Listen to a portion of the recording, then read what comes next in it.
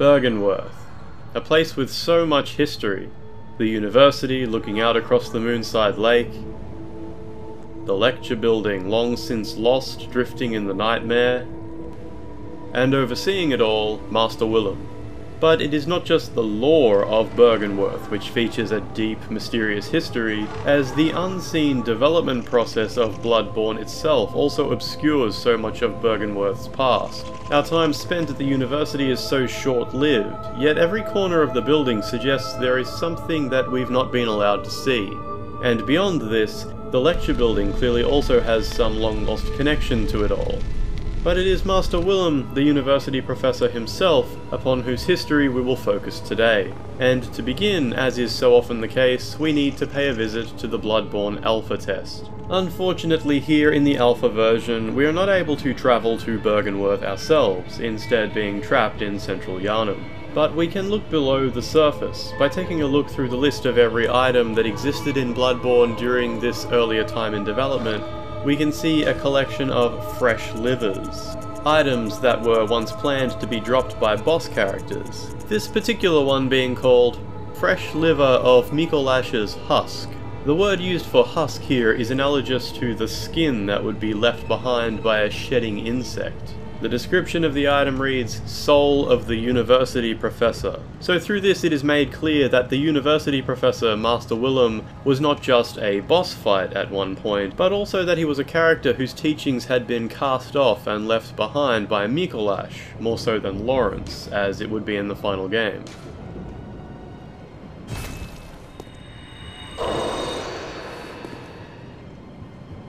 How can we further prove that he was indeed a character we would fight? Using the debug menu, we can bring up the NPC parameters for Master Willem, the university professor, and see the most telling evidence.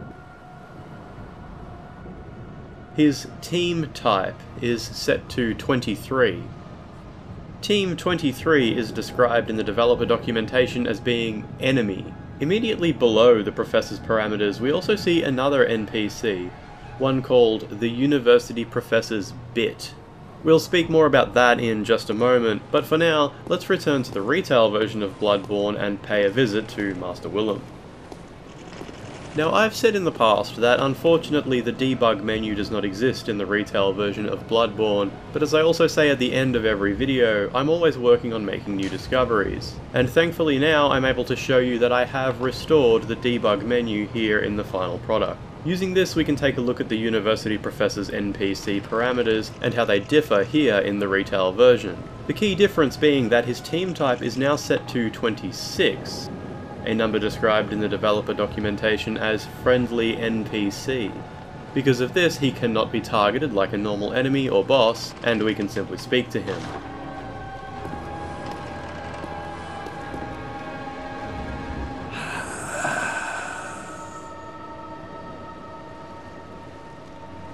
So here of course Master Willem has nothing to say to us, and is certainly far from being an enemy encounter. He simply urges us towards the Moonside Lake, where the story continues on without him. However, Master Willem was once indeed planned to actually speak to the player upon this first meeting, and I've gone ahead and taken the time to patch that content back into the game. Let's see how this meeting plays out now.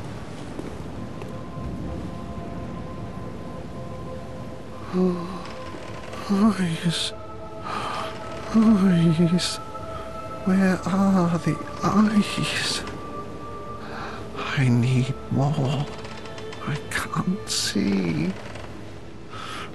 Fetch me eyes. Oh, faster, somebody. Oh, be they round, be they young.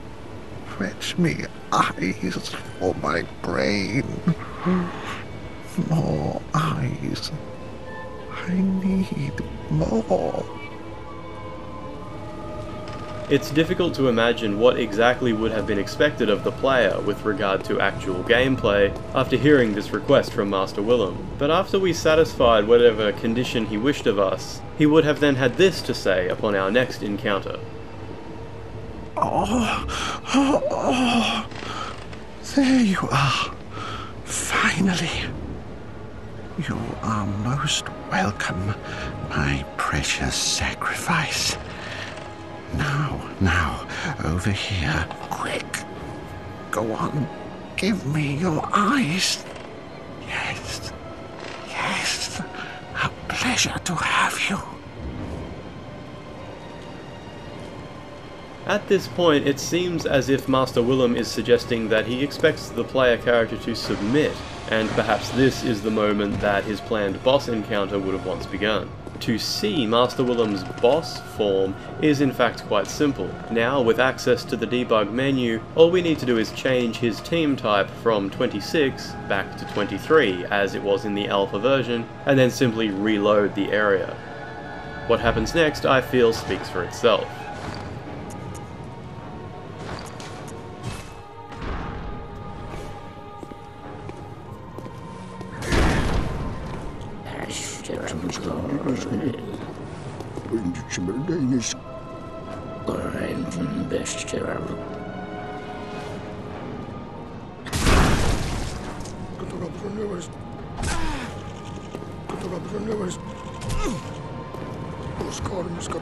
Master Willem was indeed once a boss encounter, which took place somewhere in Byrgenwerth. Of course, what we see here is the remains of a mostly broken encounter, but he is able to perform many attacks and can easily defeat the player character.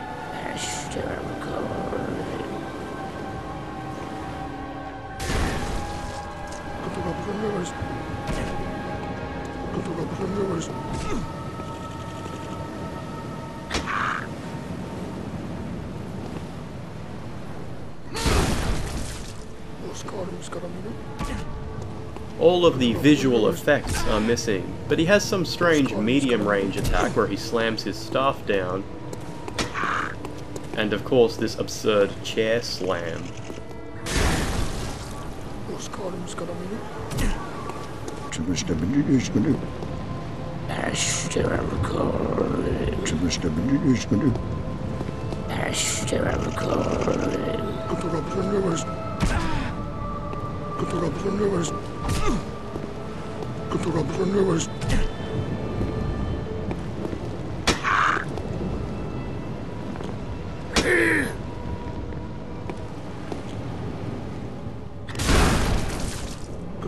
Other than his continuous babbling throughout the fight, he also has an attack where he seems to be charging up his staff before firing a continuous burst, pushing the player backwards throughout.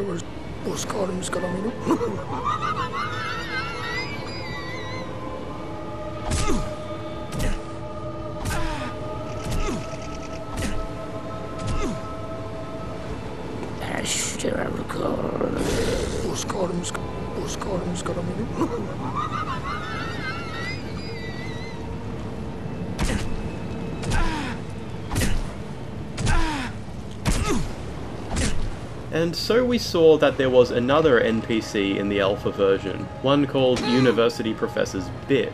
The term bit is one that is used elsewhere in Bloodborne. For example, we have this star flower here, and it summons an asteroid projectile to attack the player character. This asteroid is actually an NPC, one called Starflower's Bit. This creates a precedent of the word bit being used to describe smaller NPCs that would be summoned to join in a fight. And in the case of the university professor's bit, I am able to show you what it looks like by loading it up in the game engine's model viewer.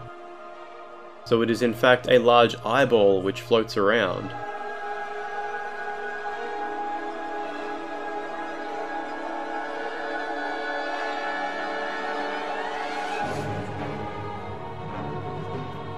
It has a few attack animations, and it can be hurt and defeated.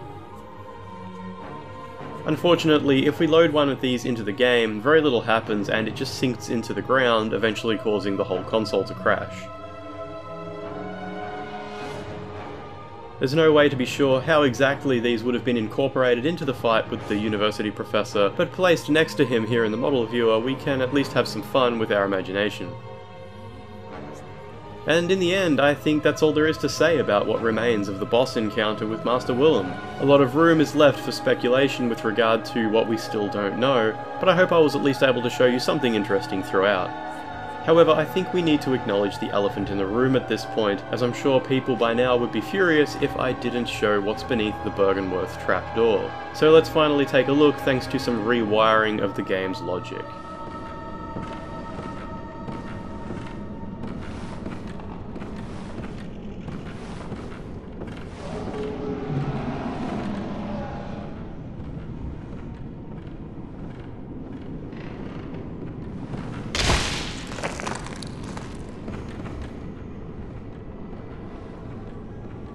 While it's true that the trapdoor does have an entirely unused opening animation, there is sadly nothing left underneath.